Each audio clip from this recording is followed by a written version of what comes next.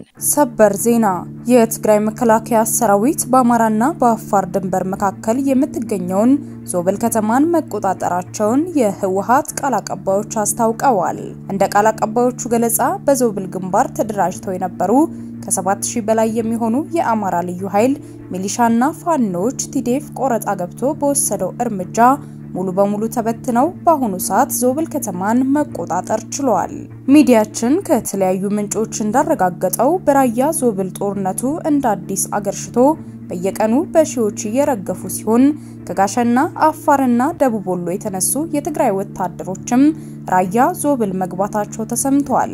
ህዳር 21 አመሻሹ ላይ ነበር የትግራይ ኃይሎች ወደ ዞብል አቅጣጫ አረቋቲ ተጠግተው ወታደራዊ ስትራቴጂ የሆነውን የዞብል ተራራን ለመያዝ ጦርነት የጀመሩት። በሰዓቱም በአካባቢው የነበሩት የራያ ፋኖና ሚሊሻዎች ጥቃቱን ለመመከት ርብርብ አድርገዋል።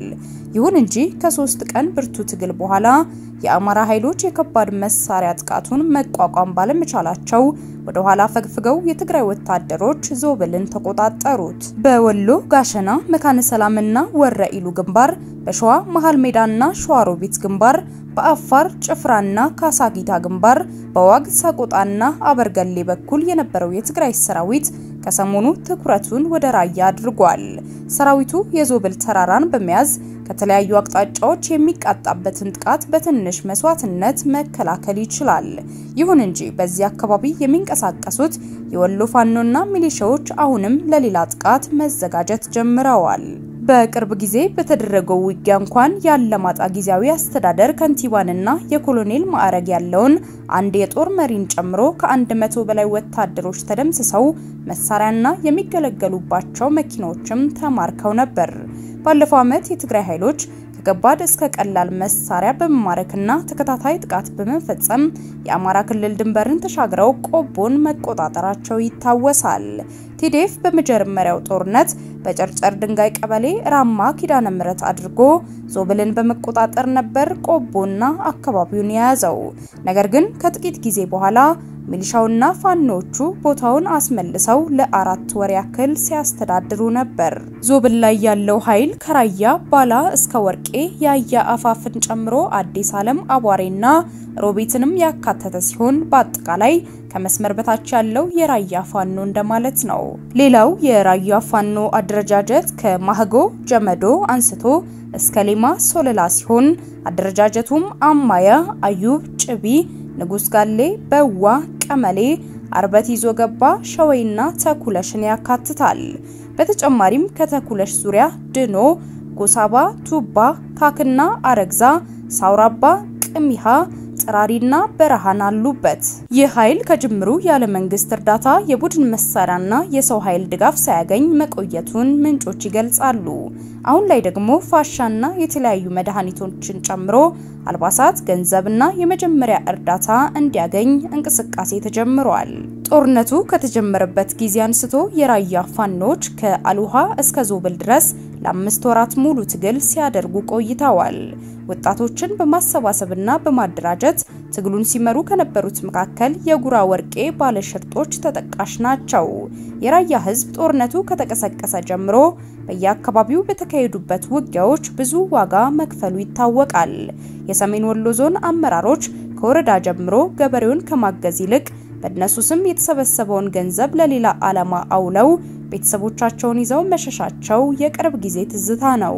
ሰሞኑን ደግሞ ደቡብ ወሎ ጋሸናና አፋር የነበረው የቲዴፍ ኃይል ወደ ራያ መግባቱን ተከትሎ ከባድ ጦርነት ተካሂዷል።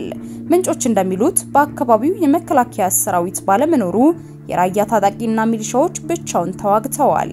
ፋኖቹ የትግራይ ወታደሮች እንዳያልፉ መንገድ ለመዝጋት ቢሞክሩም ዞብል ቦረን ላይ በከባድ መሳሪያ የተሰነዘረባቸው ጥቃት ጉዳት አድርሶባቸዋል።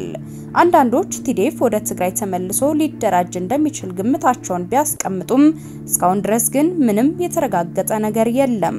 ይህ በእንዲህ እንዳለ ቲዴፍ ከ10 ሺህ በላይ የሚገመት የሰው ኃይል በወረባቦ ወረዳ ቤስቲማ ከተማ ከትናንትና ጠዋት ጀምሮ አስገብቷል። እንደሚታወሰው በዚህ ሳምንት ብቻ በጭፍራ ግንባር የነበሩት ኃይሎች ወደ ከተማዋ የገቡ ሲሆን ትናንት ዳር 23 ቀን 2014 ዓ.ም ደግሞ ቁጥራቸው በርካታ የሆኑ ወታደሮች ወደ ስፍራው ገብተዋል። በዚህም መሰረት ቲዴፍ ከ02 ቡልቡሎ እስከ ቢስቲማ ከተማ ድረስ ግማሽ ኃይሉን አስቀምጦ የቀረው ደግሞ በ05 ፊቶ ጉቢሳ፣ ገድሮና ጉሃ ላይ አስፍሯል።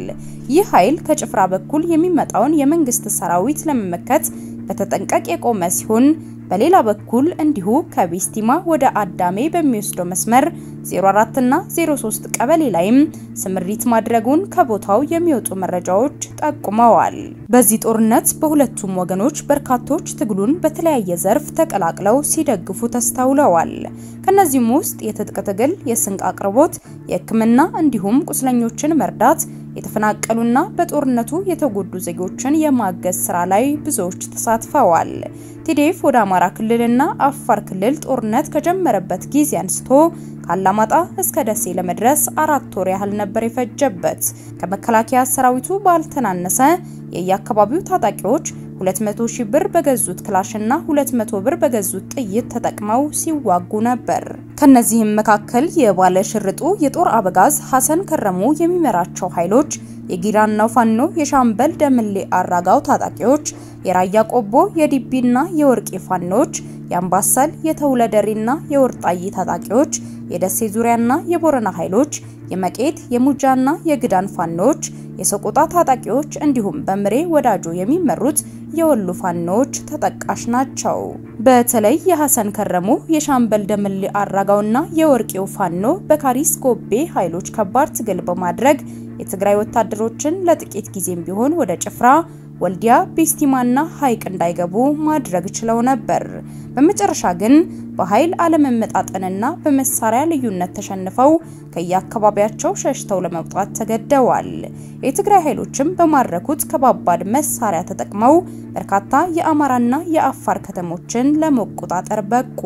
በአማራ ክልል ካላማጣ ጀምሮ እስከ ደብረ ሲና ከጋሸና እስከ ምዕራብ ወሎ ድረስ ስንቅና ትጥቅ ምሽግ ድረስ በማቀበል የወልዲያ፣ የመርሳ፣ የቆቦ፣ የሐራና የደቡብ ወሎ ወጣቶች ተሳትፈዋል። በተጨማሪም ግንባር ድረስ ገብተው የሰራዊቱን ቁስለኛ ተሸክመው ለማውጣት ከፍተኛ ርብርብ አድርገዋል። ጦርነቱ ወደ አማራ ክልል ከገባ ጀምሮ የሁለቱንም ወገን ሰራዊት የኃይል ክምችት፣ አሰላለፍ፣ የከባድ መሳሪያ ቦታዎች፣ የሰራዊት እንቅስቃሴ እንዲሁም የደረሰውን ጉዳት መረጃ በመያዝ ለተቃራኒ ኃይል የሚጠቀሙ በርካታ ነበሩ። ይህ ደግሞ መረጃውን ላገኘው ወገን ትልቅ ጥቅም ሲኖረው፣ በአንጻሩ ደግሞ ለሌላኛው ኃይል ከባድ ኪሳራ ነው። ቢቢሲ በአሁኑ ወቅት እየተካሄደ ያለውን ጦርነት በተመለከተ በሀገር መከላከያ ሚኒስቴር የሰራዊት ግንባታ ስራዎች ዋና አስተባባሪ ሌተናንት ጀነራል ባጫ ደበሌ ጋር ቆይታ አድርጓል። ሌተናንት ጀነራል ባጫ ደበሌ ሰራዊቱ እያካሄደ ስላለው ዘመቻ፣ ስለ ጦርነቱ የመድረሻ ግብ፣ የጠቅላይ ሚኒስትሩ በጦር ግንባር መገኘት፣ ጦርነቱን ለማብቃት የሚኖር ድርድርን